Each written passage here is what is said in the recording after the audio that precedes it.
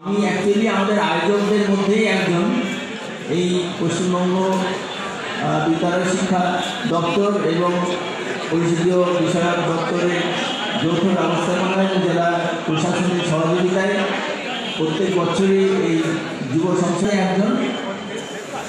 আমি সামনে যারা আছো, ছাত্রছাত্রী, তোমাদের উদ্দেশ্যে ছোট্ট কয়েকটা কথা বলে, আমি আমার বক্তব্য তোমাদের যে প্রাত্যহিক জীবনে যে যুক্তিশীল মনন তৈরি করা, যে বিধানসভা কিংবা লোক তোমরা অনুশীলন করবে। আজকে তোমরা যে কম্পিটিশনে অংশগ্রহণ করবে প্রতিযোগিতায়, সেখানে দুটি দল থাকবে, সরকারি এবং সেটার মূল বিষয় হচ্ছে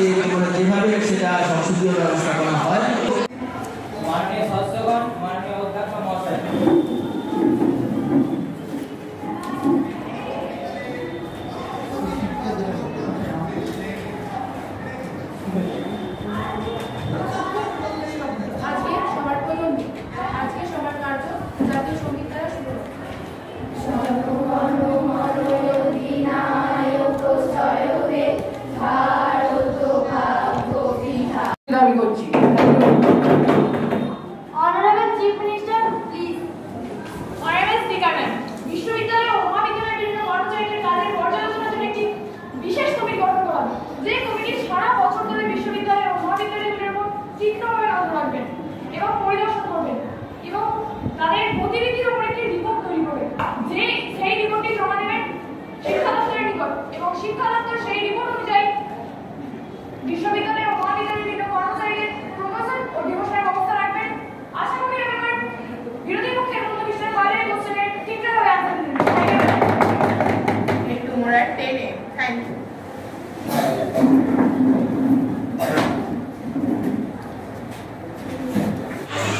চুলচুলার গর্ব। ঐতিহাসিক দিক থেকে এই ডাফ হাই স্কুলের প্রাঙ্গণে এটা অনুষ্ঠিত হচ্ছে। বাংলার মুখ্যমন্ত্রী মমতা বন্দ্যোপাধ্যায়, এটাকে অত্যন্ত সম্মানের সঙ্গে পশ্চিমবঙ্গের যুব দপ্তরকে দিয়ে আমার ছোট ছোট ভাই বোনদের মধ্যে গণতান্ত্রিক চেতনা বোধ এবং ভারতবর্ষের সংবিধানের সঙ্গে ভারতবর্ষের যে মৌলিক অধিকার এবং ভারতবর্ষের যে পীঠস্থান, আইনে পার্লামেন্ট এবং রাজ্যসভা, লোকসভা এবং বিধানসভা, প্রতিটা ক্ষেত্রে যুব সমাজ ছাত্রছাত্রীরা, তারা কি অগ্রাধিকার পাবে, কীভাবে করবে?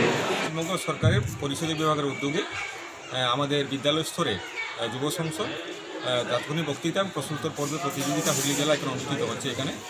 আমরা পরিচালনা আছি আমাদের জেলা বিদ্যালয় পরিদর্শক মাধ্যমিক শাখা হুগলি। এই প্রতিযোগিতা আঠাশ এগারো উনত্রিশ দুদিন ব্যাপী চলবে। এখানে আজকের এই প্রতিযোগিতা আমাদের পশ্চিমবঙ্গ সরকারের সম্মানীয় মন্ত্রী ইয়ে তপন দাসগুপ্ত মহাশয় উদ্বোধন ঘোষণা করেছেন। আঠাশ তারিখে আমাদের যা প্রতিযোগিতা আছে সদর sub division Chandannagar sub division যুব সংসদের প্রতিযোগিতা হবে এবং কুইজ ও একটা পুষ্পি সারা জেলার এই দিন অনুষ্ঠিত হবে। আগামীকাল আমাদের দুটো সাব ডিভিশন আছে, আরামবাগ সাব ডিভিশন ও শ্রীরামপুর সাব ডিভিশনে শুধু আইপিএল অনুষ্ঠান হবে। তারপরে আমাদের এই যারা এখানে প্রথম দ্বিতীয় স্থান যারা অধিকার করবে, তারা আমাদের ডিভিশনাল লেভেল প্রতিযোগিতা আছে আসানসোলে, পশ্চিম বর্ধমান জেলায়। সেখানে আমরা অংশগ্রহণ করবে ডিসেম্বর মাসে। এরপরে আমরা আগামীকাল আমাদের পুরস্কার বিতরণ অনুষ্ঠান আছে। আমরা সবাইকে পুরস্কৃত করব এখানে। এবং এই যে প্রতিযোগিতা চলছে আমরা সকল স্তরের মানুষের সহযোগিতা চাইছি, যাতে প্রতিযোগিতা সুস্থভাবে